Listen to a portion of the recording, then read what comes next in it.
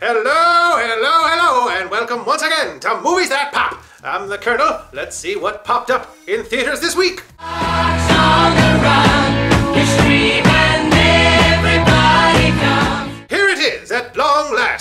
Sequel that I've personally been jumping up and down in anticipation of ever since before the credits had even finished rolling for 2014's Guardians of the Galaxy. A movie that was wild, inventive, poignant, funny, and just beautiful to behold. Mwah! And here we are three years later for Volume 2. Now, the biggest asset that these movies have going for them is their deep roster of interesting and lovable characters. And you know, I'm gonna tell you, any movie that gives me the opportunity to spend two more hours in the company of Star-Lord, Rocket, Groot, Gamora, and Drax and all the rest of the ancillary characters that surround them in this cinematic universe is going to warrant at the least a large bag of popcorn from me. Yeah, at least a large, no matter what the story has them doing. And that, that qualifier right there, is definitely going to come into play here in Guardians of the Galaxy Volume 2. Because this movie doesn't give the characters much from a plot perspective to, you know, do. There's no major guiding force to the narrative for the lion's share of this movie. No Infinity Stone, for example, to serve as an impetus for the plot. No, for the majority of this film, we're simply treated to an assemblage of scenes where these characters that we truly do love basically just do their thing, man. You know, crack wise, engage in shenanigans, and run afoul of some dangerous creatures, all to a rockin' soundtrack of classic tunes. We all know those beats from the very first movie, and you loved how they played out back then, and you will love them this time too. But that first movie had the element of surprise on its side, as it introduced us to this world and these characters. This time, we already know the beat, even if we can't help ourselves but wanna get caught up dancing to it all over again. So, what does this new movie give us exactly? Well, more of the same, only bigger.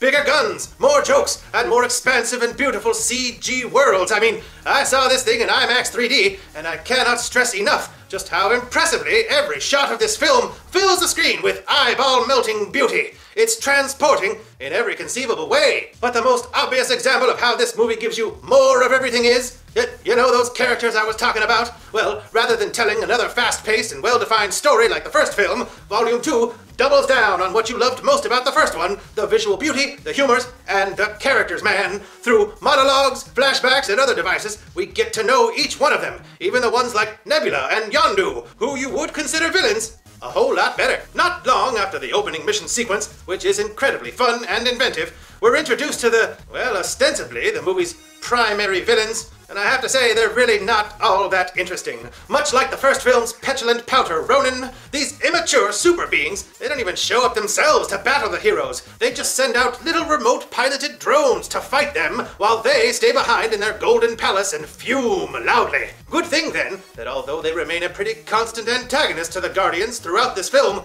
the best I can say without spoiling anything is that the line between ally and foe to our heroes is kind of fluid throughout the movie. Again, it all goes back to developing, strengthening, and evolving these great characters, and there are several of them who swing in unexpected directions, displaying new and interesting shades. And I haven't even gotten into how great Kurt Russell is here as Ego, Peter Quill's long-lost father, whose relationship with Star-Lord is the beating heart of this movie that is all about beating hearts. What it lacks in originality, it more than makes up for with unexpected emotional impact. Not just for Star-Lord, but for Drax, Yondu, Nebula, and just about everyone else. Just try and get through certain passages of this film without getting a little lump in your throat. It's tough.